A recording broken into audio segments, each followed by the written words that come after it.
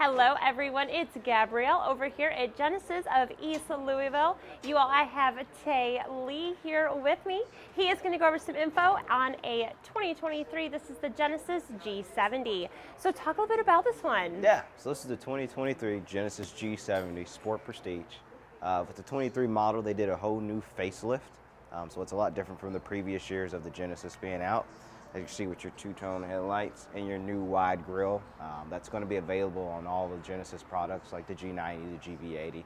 Um, this specific model is a 2.0 turbo. It's a Sport Prestige. It's going to have a 265 horsepower.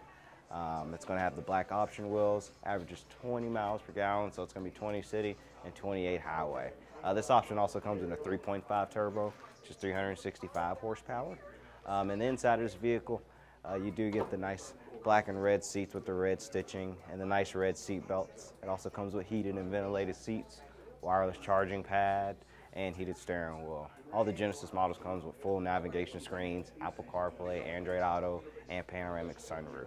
Um, this car has plenty of trunk space as well, so for all my golf players out there, you can throw a couple clubs back there if you need to um, and everything like that. Back sensors, front sensors, and everything. Also with Genesis, wonderful warranty, uh, 10 year, 100,000 on the engine and transmission, five years, 60,000 bumper to bumper, three years of complimentary service, um, and also Genesis Care. So uh, they actually give you a rental car while they're uh, doing your oil change on the vehicle.